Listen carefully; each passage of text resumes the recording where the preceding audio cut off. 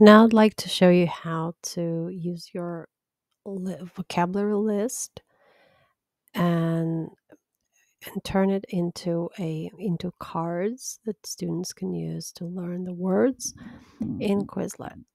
So basically we just copy the list just like this. And then we paste it to a new set in Quizlet. So this is my home page in Quizlet. Let me create a new study set and let me call it Quest or Monster Quest. Monsters Quest.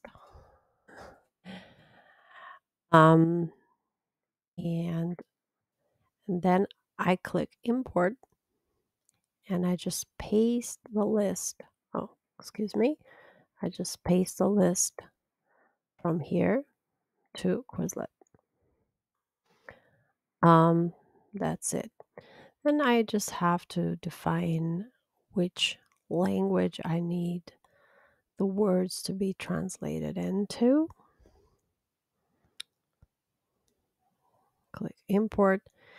So here are the words on the left side.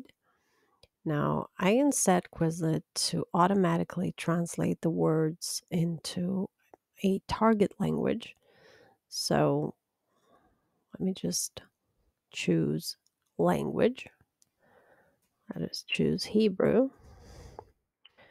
Okay, and basically, um, then I just have to, I just have to go click, click, click, and populate the fields here with the Hebrew translation. Um, after I do this, what I can do is I can also add pictures to illustrate the vocabulary. That is going to be just fantastic. Sea monsters.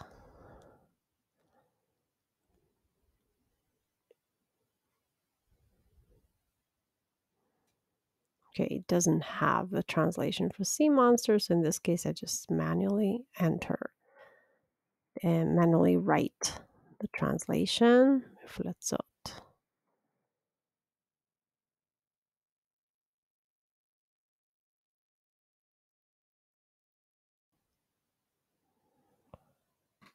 Etc etc so now having entered the translation I can also add images to the words. Let me just do a couple of examples here.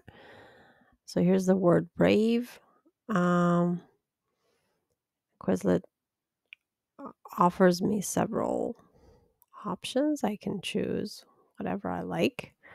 Let's choose this one. And then I have adventure. Let's see what it suggests. Adventure. Well, that is lovely. Um, and so on and so forth. So basically, I just have to choose the uh, images that I like that suit also the, the story that I I've just created. Okay, so now I think we're ready to create the set. Just click create.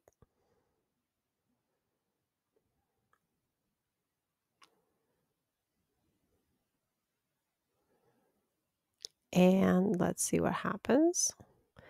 Here's my here's my set. I have cards. You can see them here on the screen. Students can play them. Students can learn the cards. They can play games using the cards. And also, if I just want to print the cards and use them in the printed version, I just go a little bit, just a little bit under the set. I can I can print it on paper and cut the cards and use them as a part of the lesson. Enjoy!